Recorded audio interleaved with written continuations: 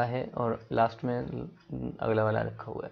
तो इस हिसाब से आपका जो है, ये चौथा कांस्टेंट मैंने यूज़ करके बताया प्राइमरी की यूनिक नॉटनल और आपका डिफ़ॉल्ट अब हम यूज़ करते हैं लास्ट जो हमारा कांस्टेंट है चेक तो चेक कांस्टेंट मैंने इसीलिए लास्ट में रखा हुआ है क्योंकि वो कभी कभी वर्क करता है कभी कभी वर्क नहीं करता है।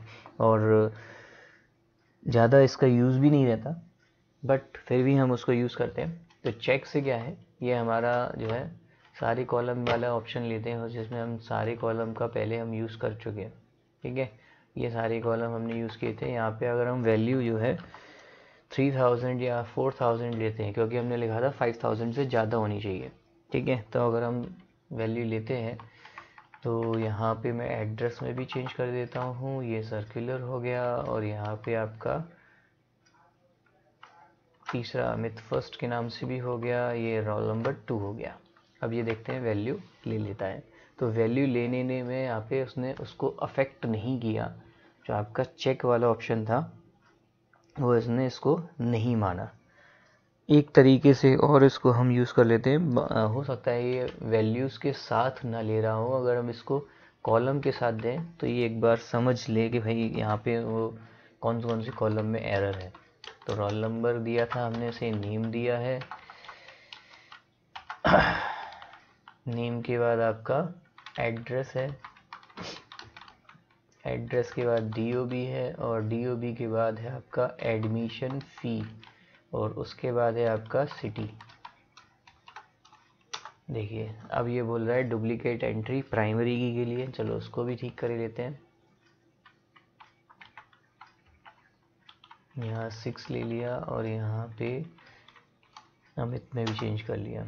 ये भी ले लिया, ठीक है? तो ओवरऑल जो आपका चेक वाला ऑप्शन है, वो यूज़ में है, लेकिन मतलब सही से हम उसको यहाँ पे कभी कभी वर्क करता है और कभी नहीं भी करता है। तो यहाँ पे जैसे हमने लिखा था एडमिशन फ़ीस फाइव थाउज़ेंड से ज़्यादा होनी चाहिए बट वो यहाँ पे फाइव थाउज़ेंड से ज़्यादा बेसिस पे ना लेके वो कम पे भी ले रहा है। ठीक है? तो ऐसा कोई ज़रूरी नहीं है कि आप चेक वाला ऑप्शन जो है काम करता भी है और नहीं भी करता है। ठीक है? तो होप आपको ये सब चीज़ें समझ में आई होंगी। और अब इसके बाद जो हमारा जो है फॉरेन की का एक लास्ट कांस्टेंट जो है वो और यूज़ करना है। तो फॉरेन की का और कांस्टेंट हम यूज़ कर लेते हैं। उसके लिए जो फॉरेन की का यूज़ है, वो हम दूसरी टेबल अगर उसमें बनाते हैं तो उसमें फॉरेन की का यूज़ होता है। तो फॉरेन की का यूज़ कैसे करते हैं, वो देखते हैं। तो फॉरेन की के लिए हमें एक और टेबल बनानी पड़ेगी क्रिएट टेबल रूल रूल के नाम से हमने बना ली, और इसमें मैंने दिया आपका एडमिशन नंबर एडमिशन नंबर मैंने दिया आपका इंट में। और आपका इंट में दिया तीन डिजिट का, ठीक है? उसके बाद कॉमा लगा के यहाँ पे मैंने जो कॉलम वहाँ पहले मैं दे चुका हूँ, उनसे डिफरेंट देना होगा, तभी वहाँ पे उसका यूज़ आएगा। तो यहाँ पे मैं सब्जेक्ट के मार्क्स दे रहा हूँ। हिंदी में इंट में चाहिए तीन डिजिट के, उसके बाद आपके जो है इंग्लिश चाहिए। इंग्लिश इंट में चाहिए। ये भी आपके तीन डिजिट के और मैंने बस इतना ही यूज़ किया। अब इसके बाद यहाँ पे मैंने प्राइमरी की को यूज़ सॉरी फॉरेन की को यूज़ करना है। तो foreign F O R E I G N foreign की ठीक है? और फॉरेन की में आपका जो अभी का है एडमिशन नंबर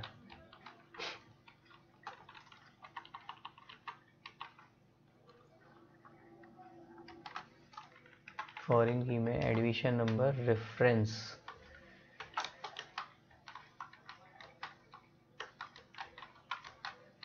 रेफरेंस कर रहा हूँ मैं इससे और रेफरेंस में आपका यहाँ पे पहली वाली टेबल का नेम और उसमें आपके उसके डेटा टाइप उसको देने पड़ते हैं। रेफरेंस में किससे कर रहा हूँ? पहली वाली टेबल का नेम था आपका कॉलेज वाली टेबल से। कॉलेज वाली टेबल में आपका जो रोल नंबर से। ठीक है? देन आफ्टर एक और ब्रैकेट क्लोज करना है सेमी कॉलन यूज़ करना है। ये देखिए, इसने आपका रेफरेंसेस कर लिया है फॉरेन की को ज्वाइन कर लिया है रोल नंबर को एडमिशन नंबर से। अब आप कैसे कह सकते हैं कि भाई ये फॉरेन की यूज़ में है?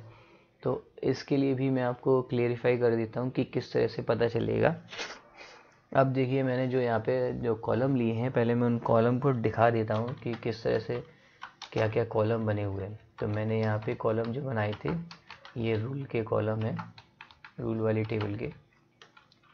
अब इन कॉलम को अगर मैं यूज़ कर रहा हूँ, देखिए ये डेटा टाइप है, इसमें यहाँ पे लिखा हुआ है एम यू एल की में। तो ये आपका एम यू एल का मीन्स होता है, यहाँ पे फॉरेन की का यूज़ ये शो करा रहा है। अब और भी आपको क्लियर करना है तो आप ऐसे क्लियर कर सकते हैं। अब यहाँ पे अगर मैं रोल नंबर जो मेरे पास है eleven twenty one twenty three twenty five twenty six ये जो रोल नंबर हैं, इनके अलावा अगर मैं कोई और रोल नंबर ये टू और सिक्स और है, इनके अलावा अगर मैं कोई और रोल नंबर यहाँ इनपुट करता हूँ, यहाँ पे मेरे पास तीन कॉलम है एडमिशन नंबर हिंदी और इंग्लिश में तो मैं इंसर्ट करके दिखाता हूँ, देखिए।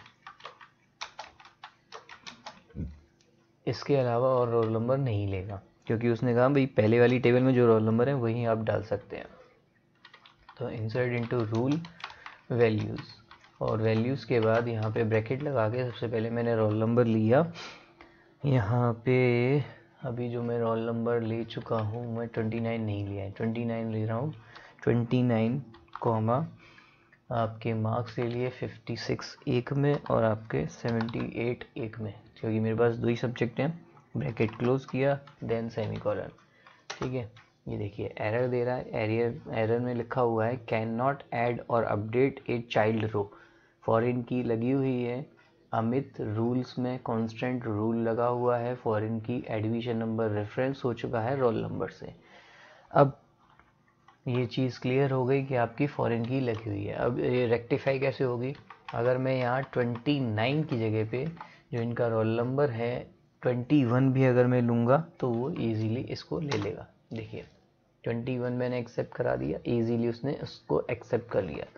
ट्वेंटी वन के अलावा अगर मैं यहाँ पे दूसरा कोई रोल नंबर है, जैसे टू भी मैंने यहाँ पे इनपुट कराया है ऊपर, ये पहली वाली टेबल में तो ये भी आपका यहाँ इनपुट कर लेगा। देखिए। अगर मैं फिर वही आपको दोबारा से एक बार फिर चेक करवा देता हूँ कि यहाँ पे अगर मैं रोल नंबर यहाँ पे ट्वेंटी मैंने नहीं लिया है, अगर मैं ट्वेंटी रोल नंबर यहाँ लेता हूँ तो वो फिर से वही एरर देगा। कि वहाँ फॉरेन की लगी हुई है, जो ऊपर वाली वैल्यू लगी हुई है सेम वही दे सकता हूँ। अब मैं दोनों वैल्यू में चेक करा देता हूँ। तो सेलेक्ट स्टार फ्रॉम आपकी पहली वाली टेबल थी कॉलेज उसको देख लीजिए। और फिर दूसरी वाली टेबल में मैंने यहाँ पे जो नेम दिया था, वो है आपका रूल ठीक है? अब देखिए यहाँ पे 21 और 2 दोनों रोल नंबर पहली वाली टेबल से रिलेट कर रहे हैं, तभी वो वहाँ पे यूज़ कर रहा है। अगर पहली वाली टेबल से रिलेट नहीं करेंगे तो वो दूसरी वाली टेबल में उसको यूज़ नहीं करेगा। ठीक है? तो आई होप आपको ये सब चीज़ें समझ में आ रही हों। और अब हम इसमें जो है कॉन्स्टेंट यूज़ कर चुके हैं सारे, और आपके डेटा टाइप्स यूज़ कर चुके हैं। अब इसमें जो आपकी नेक्स्ट कमांड आएँगी वो आपकी अगली वीडियो में हम देखेंगे।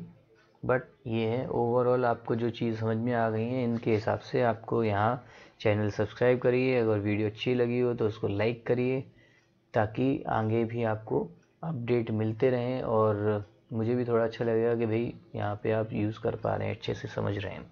ठीक है? तो नेक्स्ट वीडियो में मिलते हैं फिर।